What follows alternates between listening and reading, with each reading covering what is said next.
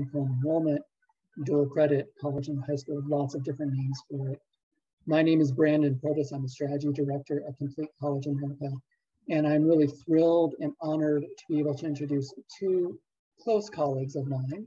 This is Amy Williams. She's the executive director at NACEP, the National Alliance of Concurrent Enrollment Partnerships.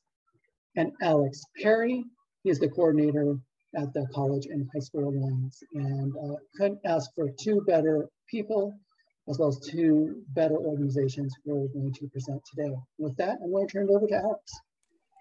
Thank you, Brandon. Appreciate it. And thank you to the Complete College America team for inviting Amy and I to have the opportunity to talk to you today. Yeah, we're really excited to dive in uh, onto the topic of uh, dual enrollment, concurrent enrollment, early college, high school, P-TECH, um, many different terms. It wouldn't be a dual enrollment uh, presentation without a slide on terminology. So we'll get to that in just a second. Um, but uh, before we did that, wanted to just introduce you just ever so quickly to uh, our organizations uh, and the work that we do. Uh, I'm Alex Perry. Uh, I work for a DC-based education policy consulting firm called Foresight Law and Policy, but I spend most of my time as the coordinator of the College in High School Alliance. The College in High School Alliance is a coalition of 90 national and state organizations who are interested in advocating on behalf of equity, quality, and student success in college and high school programs. We're governed by a steering committee of seven organizations, one of which is the National Alliance of Concurrent Enrollment Partnerships. So Amy, why don't you introduce yourself? Yeah, Amy Williams, Executive Director for NACEP, the National Alliance of Concurrent Enrollment Partnerships, which does get to be a mouthful. That's why we call ourselves NACEP often.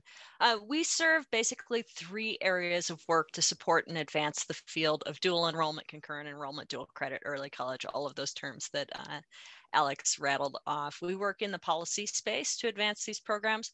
We support programs as a program accreditor and we support practitioners as the go to space for professional development to understand, advance, align, and innovate within this field.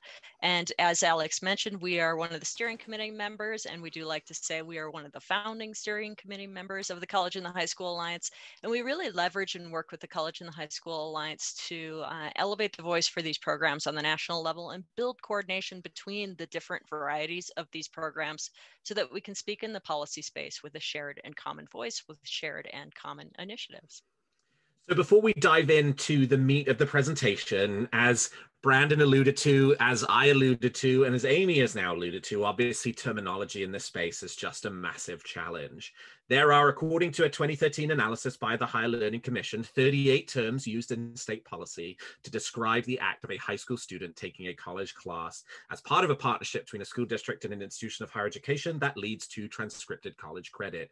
And some of those terms you may use in your state, and some of those terms you may not. Dual enrollment, concurrent enrollment, early college, high school, P-TECH, blah, blah, blah. Um, you will hear us use probably dual enrollment or college and high school programs interchangeably throughout the course of this presentation merely translate that in your own mind into whatever terminology it is that you are used to using. There are some subtle variations in the different kinds of models of dual enrollment. The early college high school is a little different from what people will traditionally understand the concurrent enrollment model to be, for example. But for our purposes, we're focused more on the things that unite us than that divide us. And so we're talking about any program in which a high school student has the opportunity to take a college class as part of a partnership between a school district and an institution of of higher education that leads to transcripted college credit, regardless of where the student takes the classes, what kind of instructor they have, what kind of classes they're taking. We're really thinking about that whole bucket of programs. So we'll use dual enrollment college and high school programs specifically, interchangeably, but um, please, as I say, translate them back to uh, your own uh, uh, lingo in your local or state area. So uh, with that, hopefully we will, um, uh, everything from this point forward will make sense. And Amy, why don't you kick us off with the national landscape for dual enrollment? Yeah, let's talk about what we know about how prevalent these programs are and how uh, well they are doing in terms of engaging students on the national level. So we don't really, uh, spoiler alert, have outstanding national reporting on how many students participate in these programs on an annual basis that's uh, super reliable and timely. Uh, but there are a few reports out there that um, that do have a lot of value to the field and really understanding and having a finger on the pulse of what's happening in the field. And one of the most often cited ones is the National Center for Education Statistics. And it had a recent report in February 2019 uh, and that one gets a lot of traction and attention. So that was a summary of data gleaned from the high school longitudinal study of 2009, which took about uh, more than 23 uh, thousand students that were a representative subpopulation of US high schools and kind of looked at course taking trends in the short and the long term and followed those students for a period of years, administering follow up surveys, looking at transcript patterns, uh, and looking for students popping up in um, post secondary databases and student clearinghouse data. And there were four kind of key findings from that. Uh, the first one on the slide here is 34%, or basically one in three students in the study um, and nationally as a representative sample are participating in these programs and earning college credit, at least one or more college credits in the high school space. I'm probably not unsurprising to this audience, students with a had coming from households and having families with a higher level of education were more likely to participate in dual enrollment. And again, that's pervasive in post-secondary education in general, uh, and it was not shocking to see it here. Also, white and Asian students are significantly more likely to participate than students that identified as Hispanic or Black or reported themselves as uh, multiple race or ethnicity. So the majority of another interesting element, particularly to NACEP, which really works in the overall dual enrollment space, but also particularly the model where the high school instructor is delivering these col- these college courses in the classroom.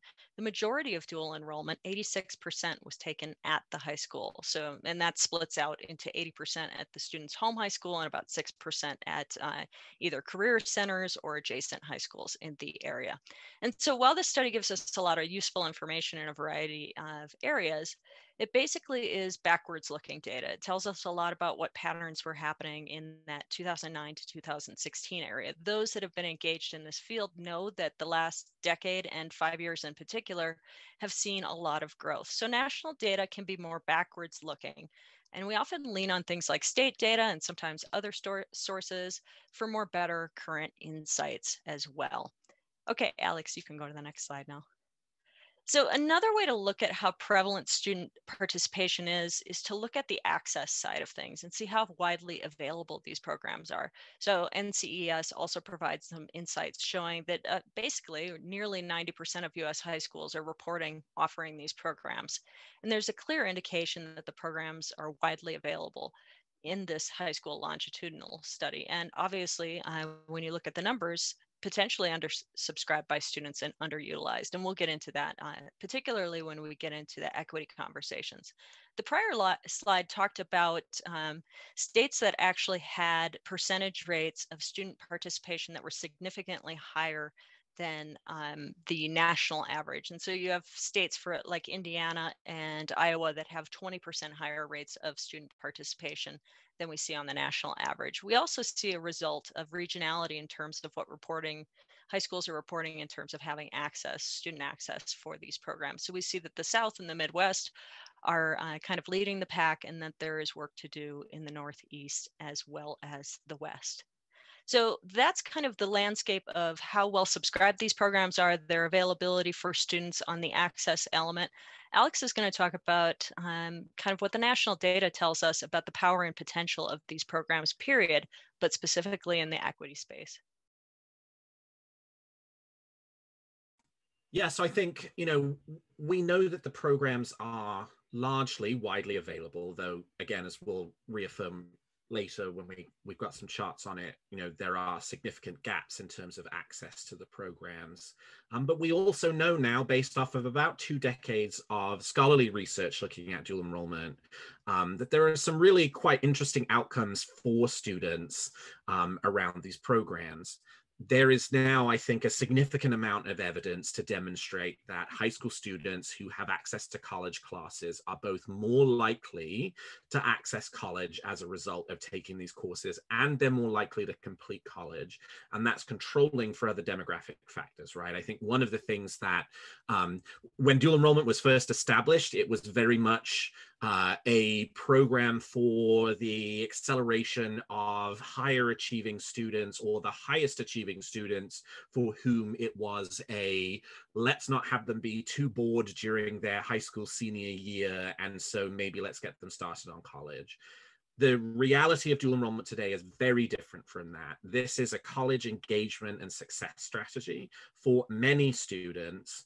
Um, and there's actually some interesting research. Uh, it's emerging in the research field, but uh, a number of the studies now that, that recent studies that have looked at access and success have actually found that low income students and students who are underrepresented in higher education um, were more likely to derive larger positive benefits from participating in dual enrollment than their peers who didn't fall into those categories. So I think there's now a lot of research that demonstrates that these programs are a significant tool in helping students both access college and complete college. The Institute for Education Sciences, What Works Clearinghouse, did a review of dual enrollment studies in uh, early 2017 and found that there was a, a medium to large degree of evidence to say that those claims around access and success were true. And there are other kind of things that dual enrollment does that were also covered in the intervention report support um, higher academic achievement in high school, uh, lower need of remediation once the students enter college, um, number of post-secondary credits and rate of, of secondary credit accumulation, and also degree attainment as well being that kind of final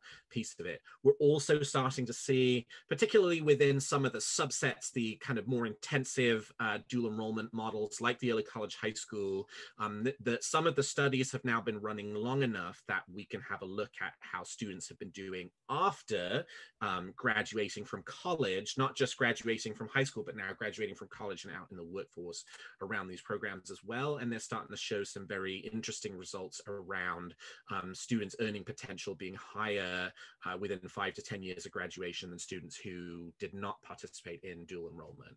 Um, so lots of really great benefits, both in terms of completing high school, accessing college, and graduating from college. Um, and there are a number of state level studies too. So this is just one of the most recent ones. This is out of Colorado. Um, Colorado now has quite a large dual enrollment population. There's been quite a lot of state policy. Um, most Colorado uh, dual enrollment um, takes place uh, in the high school. Um, uh, it's it's they the the Colorado state policy defines it, calls it concurrent enrollment. There is some early college high school, there is some P-TECHs. Um, but if you look across the whole of the dual enrollment system, the concurrent enrollment system within Colorado, um, these are some of the outcomes that they have found for those students. And, and to give you a sense of, of the scale of access within Colorado, about one in three high school students in the state of Colorado took a college course in school year 2017-2018. So they found that the students were 25% more likely to attend college, 8% more likely for on-time degree completion at a two-year college, 10% uh, improvement in on-time degree completion for a four-year college, 9.6% um, higher wages five years post-graduation. This is just looking at um, uh, concurrent enrollment students and comparing them to non-concurrent enrollment students. Um, and as I was alluding to earlier, there's also a really interesting and expanding set of research on the early college high school model in particular, what kind of differentiates an early college high school from your more traditional dual enrollment. These tend to be whole school models. They have more support structures in place uh, baked into the model um, to support students. They actually largely are set up to specifically target and cater to students who are low income, underrepresented in higher education, students of color, etc. Um, and they are, as part of the sort of definition of being an early college high school, 100% free of charge to the students who participate. Um, still part of that dual enrollment umbrella, but but you know sort of uh, a, more intensive version of your traditional dual enrollment program. Um, and there's now a significant amount of research on the really high benefits of early college high school participation for students, both significant improvement in access and success alongside the improvement you have um, uh, within dual enrollment as a whole. And also American Institutes for Research has done a long running study on early college high schools um, and just uh, in the last year came back with a return on investment analysis, um, found the average lifetime benefit for a student participating in early college was about $58,000. Um, and their conclusion was that for the uh, resources invested in establishing and running the early college high school versus the lifetime benefits to students, it's actually about a 15 to one benefit to cost ratio um, for the establishment of early college high schools. Now, and that's the most expensive of the models, right? That's it's a relatively small movement. There are probably only about 400 early colleges nationwide. Why? Because it's much more expensive than your traditional dual enrollment. Um, uh, but uh, we have also seen on the dual enrollment side, a number of different states have looked at um, return on investment uh, analyses around the sort of more traditional dual enrollment programs and found that you know there is also a significant return on investment within the kind of traditional dual enrollment space as well. This again out of that Colorado study. Um, there are four main claims people make about dual enrollment. Uh, it, uh, it, students are more likely to access college, they're more likely to complete college. Um, it will save them time, it will save them money. We can definitely say that on the access, access and success piece, there's a significant amount of research to back that up on time to degree completion and cost to degree completion. They're very sexy from a policymaker perspective. When legislators talk about these, they talk about that as being the kind of two main reasons to do this. Um, the research base is not as strong on those two claims as they are on the access and success piece, but there is emerging research to demonstrate that maybe that is the case. Um, uh, and this uh, this slide, which just comes out of that Colorado research, shows that um, there actually is a significant savings to Colorado students for engaging in concurrent enrollment uh, over their educational lifetime versus not doing so. So I think we are starting to now see some emerging research to continue backing up all four of those claims.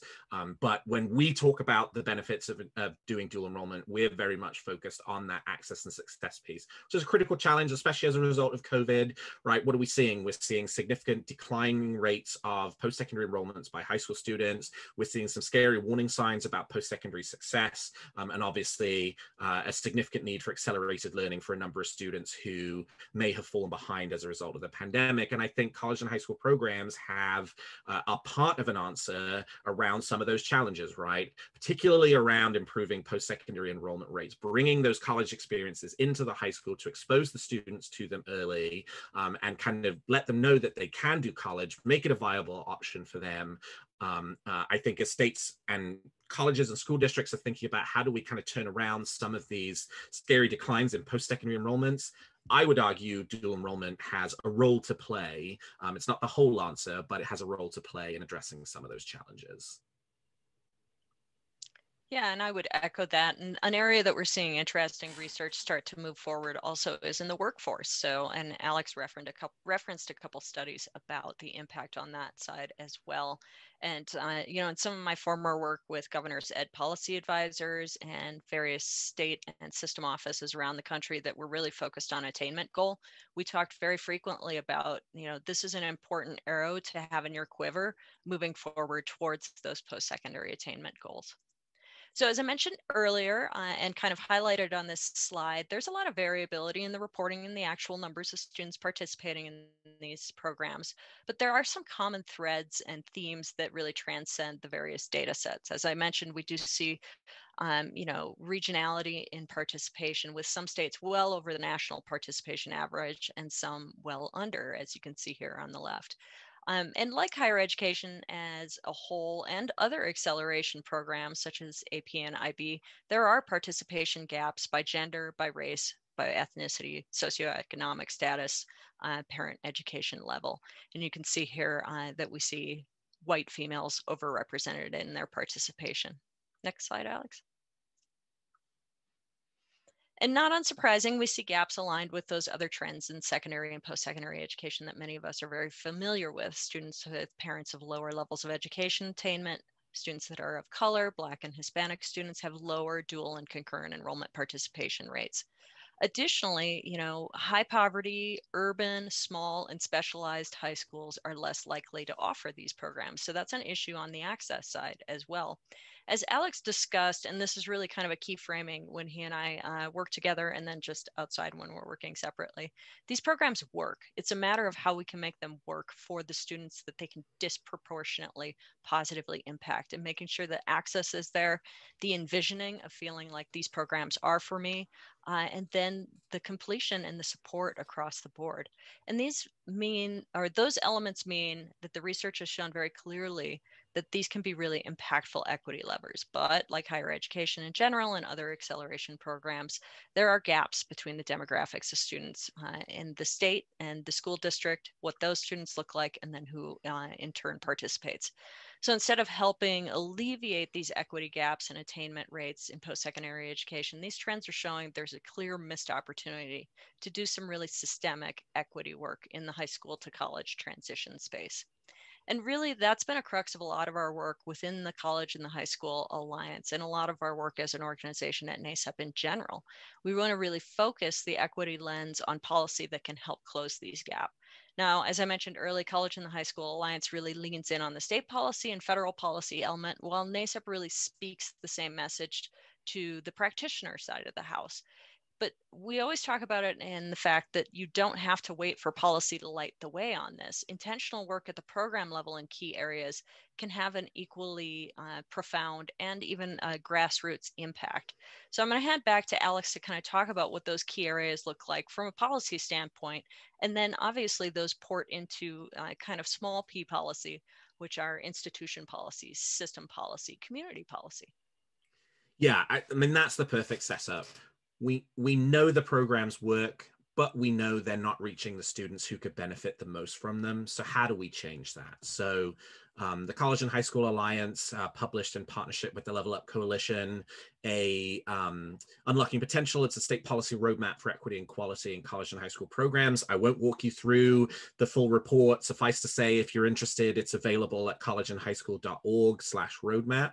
Um, but I did just want to quickly talk you through the six components of the framework. And as Amy says, there are there are applicability within this framework for both the policy side, right? Thinking about how we structure policies to support access and success in these programs, but frankly, also at the program side as well. As, as we talk through each of these six elements of the framework, kind of, I think, you know, for those of you who are at the practitioner level, be thinking, how does this apply to the work that we do? Because it definitely does. I mean, some of it is obviously driven by what the state tells you you have to do, but there's still a certain amount of leeway within that to um, determine, you know, what your own practices are at the individual program level.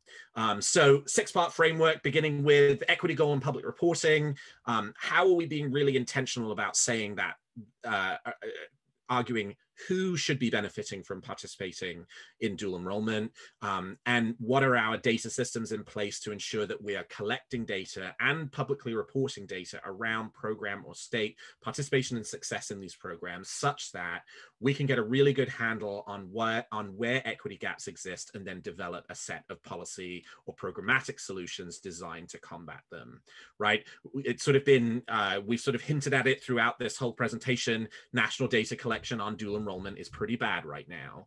Um, and so there is a big uphill uh, uh, battle to climb for us just to get our hands around where the gaps are to be able to then design a customized set of policy solutions to address them. Two, program integrity and credit transfer. Well, credit transfer is obviously a big one. Students are coming uh, out of dual enrollment programs with a college transcript, but not a college transcript that amounts in many cases to a degree or credential. So they ultimately need to take those credits and apply them at a second institution of higher education. So the transfer piece is going to be critical within that. Also questions around um, what are the, how are we ensuring that each of these experiences that students are having, regardless of where they're having it, regardless of who the instructor is, are true college experiences that meet the level of expectations that we would have for a college class for those students. Um, it's the key word it's quality but it is an important one um, uh, as it relates to thinking about these programs especially as we're working to expand access to low income and underrepresented students right? We want to ensure that those students have access to the same high quality experiences as every other student does and that we're not just adding what we call dual enrollment for dual enrollment's sake without it actually helping actionably push those students forward on a pathway towards a degree or credential. The finance piece is a big one. How are we ensuring we're eliminating costs for low income students participating in these programs? It's obviously a big equity barrier if there are costs involved for the students to participate. Course access and availability. What kind of courses do students have access to? How many courses do they have access to? How do they find out about those courses? What are the admissions criteria for participating in those courses? Uh, that's a, you know, the eligibility criteria for participating in dual enrollment is a really important question. Um, uh, there are a number of practices that do lead to bad equity outcomes when it comes to dual enrollment admissions, right? I would argue that simply relying upon standardized test uh, outcomes to assess eligibility for dual enrollment is not the correct eligibility mechanism for dual enrollment, that states and programs should be looking at multiple measures of student readiness to assess whether they're ready to start dual enrollment. And there is promising research to demonstrate that using those multiple measures can be much more successful at correctly identifying students who are college ready. Um, instructor capacity is a big one. There are many states that use high school teachers to, to, to do the college class instruction. Many of them do need more um, uh, discipline specific graduate coursework than they have right now. Most lots of teachers have master's degrees, but not many of them have master's degrees in the specific content area. And many states, and certainly a number of accreditors, the Higher Learning Commission being the biggest, require that the teachers have those discipline specific graduate coursework in order to teach the courses. And we're in the middle of a teacher workforce crisis as it stands right now. We just don't have enough teachers, let alone enough teachers who have discipline specific graduate training. And then lastly, what are the support services that the students are receiving? How are the students being advised? Um, how are they being counseled on what courses to select, why to select those courses, right? Ultimately, students should be engaged in dual enrollment with an intention to do something, right? There must be some intentionality behind those course taking experiences. Otherwise, um, you're not actually pushing those for students forward on a pathway to a degree or credential. And before we switch to talking about dual enrollment and COVID as our very last thing, Amy, any last comments on the framework? No, I think that's a really good summary. And I just would encourage those that are on the practitioner side to think about how are you reporting with your, let's say, between high school and college partners about the demographics of the school district versus who is participating. Same thing for program equity or integrity and credit transfer. How are you sure that those processes that you have in place are really aligned tightly with real quality standards that have been demonstrated as important and impactful across the board on a national framework like NACEP offers. Uh, finance is a little trickier in terms of, you know, moving from the state into the program level, but we've seen a lot of innovation in that space, bringing in foundation funding uh, for scholarships, bringing in business and industry partners to prioritize removing a cost barrier for student participation. Uh, course access and availability, you hit that really strongly when you're looking at building one of these programs or enhancing or refining or uh, really innovating in them where are these credits leading and how does that align with student's ultimate purpose? I, uh, there's kind of a catchphrase thrown around in in our side of the house on the the practitioner side random acts of dual enrollment. We want to move away from that to intentional pathways so that students really are getting those advances and really stepping forward onto a pathway that ultimately benefits them uh, instructor capacity is a, an element that we're seeing a lot of states focus in on, tune in on, and look at efforts. And we're also seeing institutions lead the way to some extent on that through collaborations between two year and four year institutions, through collaboration through uh, teacher training programs. So there's a lot of work going in that space. And then navigational supports are incredibly important. Um, and building in this idea that I came from a community college or a two year college campus, and we did a lot of things that were above and beyond to bridge and support the students. Those things are widely available in the two-year space in terms of, you know, having access to a food pantry, having access to math and writing centers, having additional support. Um, but have not made as much progress, I think, in the dual enrollment space, even though, especially when these take place in the high school, there is a great framework to help support those additional elements. It's just a matter of figuring out who does what. And of course, given the world that we live in, we'd be remiss not to touch on the impact of COVID 19 on dual enrollment. Um, we are still in the process of unpacking a lot of that. We just have completed a national survey, um, a COVID impact survey of dual enrollment policymakers and practitioners to understand more about how the pandemic has changed dual enrollment. Um, just kind of some early reflections we have is that uh, online dual enrollment existed pre pandemic. Um, but I think there, uh, 50% of respondents to the survey indicated that their program was planning to continue some kind of online dual enrollment availability after the conclusion of the health crisis. That would be a significant expansion in online dual enrollment from where we were in, in late 2019. Um, I think enrollment, the picture's been very mixed. Some, uh, some programs enrollment has been a lot higher as a result of the pandemic and students in um, their localities becoming very focused on um, those sort of short shortcut processes to degrees and credentials. In other places, the pandemic has had a really uh, negative impact on enrollment. We've seen significant declines in uh, dual enrollment participation. Uh, what separates one from the other? Um, we're still unpacking why I think cost is probably a driving factor in that, right? If you were a dual enrollment program uh, that was charging students, I think you probably did see your, your enrollment decline. If you were a program that was uh, blessed to be in a position where you don't have to charge students either because of using programmatic funds or specific state funds to support the dual enrollment programs, um, then I think, you know, you maybe saw either no impact or, or an increase in um, uh, in enrollment. Now, obviously, there's uh, as a result of the various COVID-19 relief funds provided through the CARES Act, the December stimulus bill, and then the American Rescue Plan, um, there's there are lots of school districts, colleges, and states that are looking to make a lot of decisions about how to invest funding between now and 2024 when that funding expires.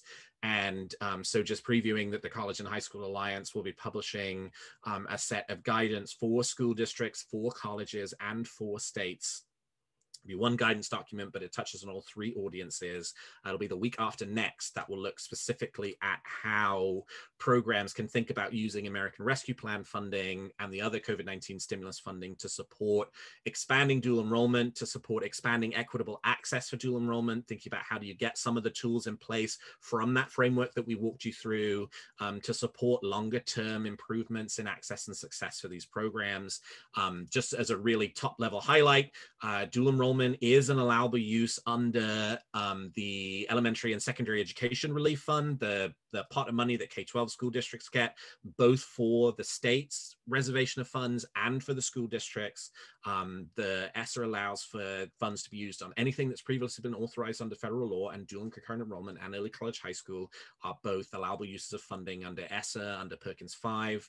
Um, uh, and so they're allowable uses under ESSA as well. On the college side, the Higher Education Relief Fund dollars can be used to support dual enrollment, both the institutional dollars that um, the, the colleges get um, in order to uh, respond to COVID-19, but also uh, under the funding provided from the American Rescue Plan, um, the 50% that must be used for emergency student financial aid, that may also be used to support dual enrollment students um, in the form of emergency financial aid. The CARES Act funding from March of last year, that can't be used to support dual enrollment students, but the more recent funding provided through the December stimulus bill and now through the American Rescue Plan can.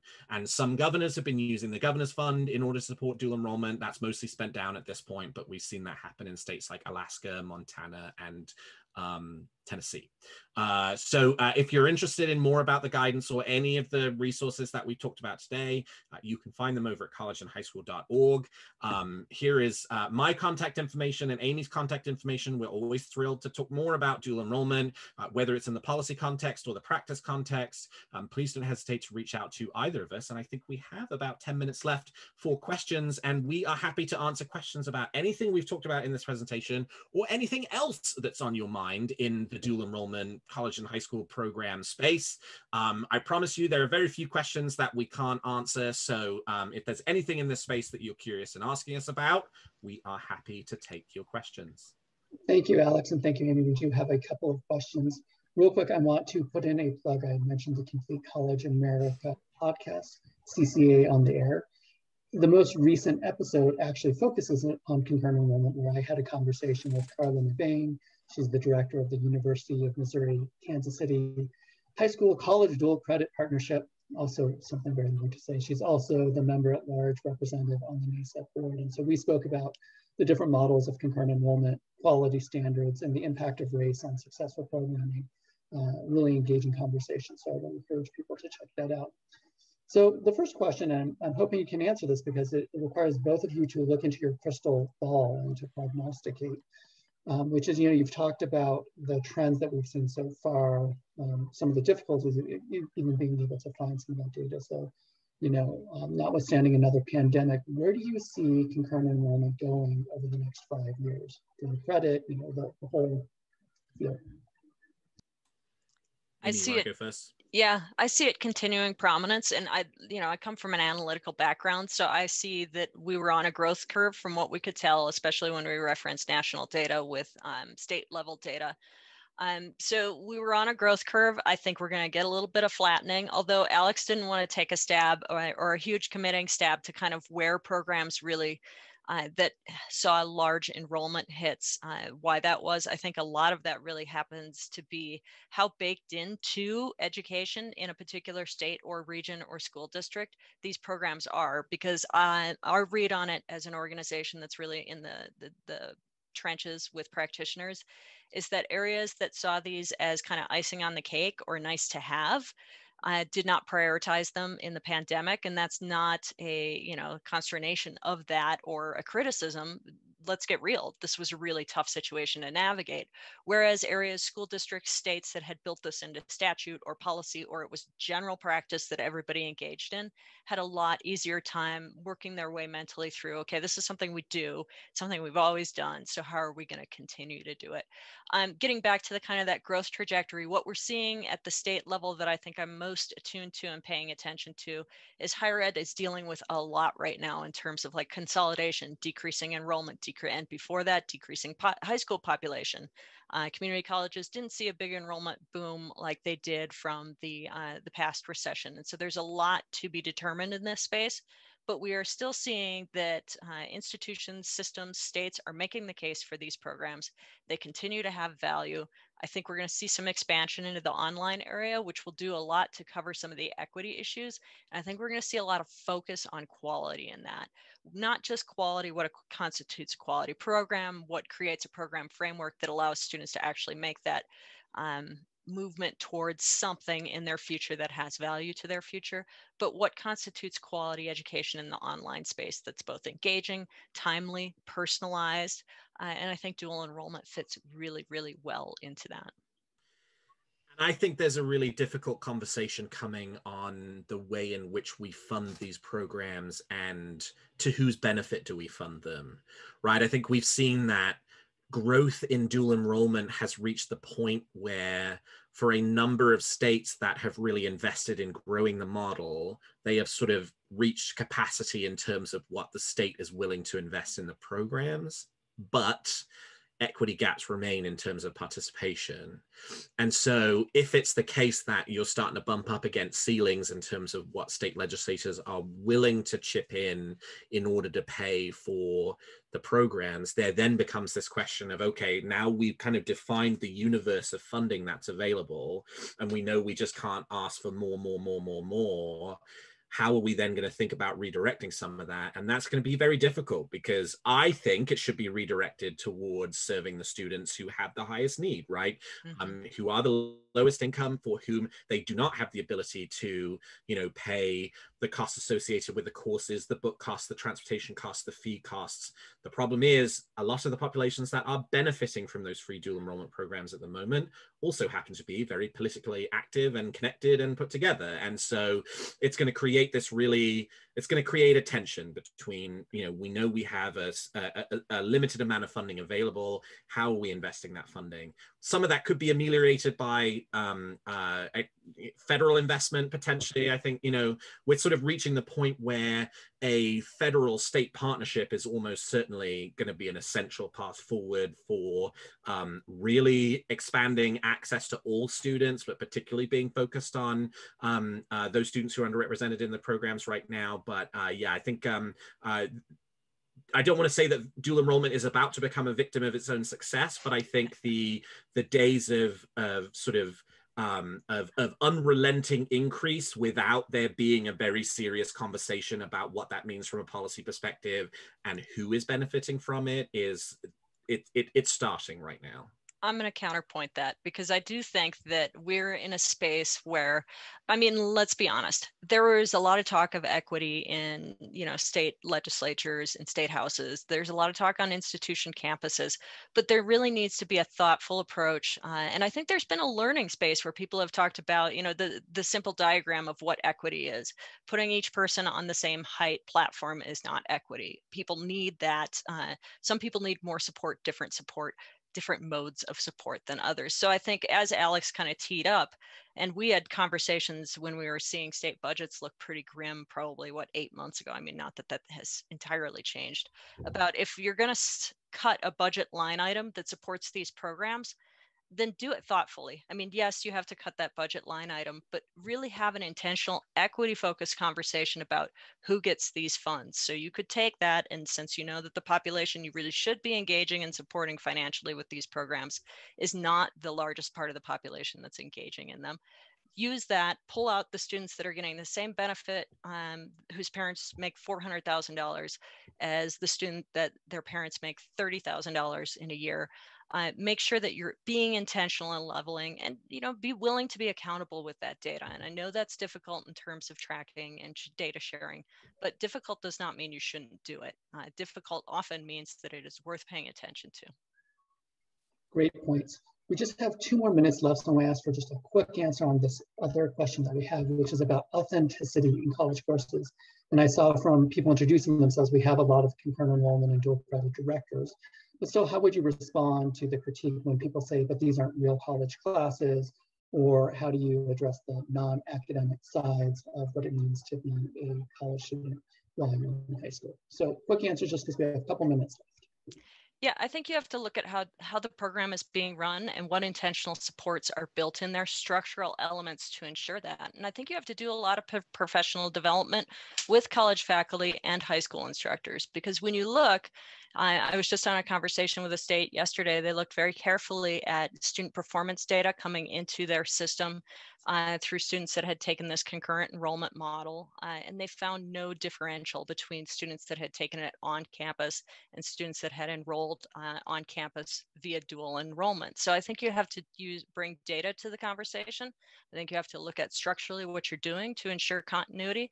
I think high school instructors need to understand what the college environment is like and how and be supported by their administration to hold that line and ensure that they are uh, bringing that integrity piece because when we look at research students benefit proportionally much better when not just the rigor is there but the non-cognitive support is there the uh, you know the emphasis on time management more of those executive skills um, the drop of hand holding, and even things as simple as like not requiring assigned seating, which is pretty pervasive in the high school environment, not at all an element in the college environment.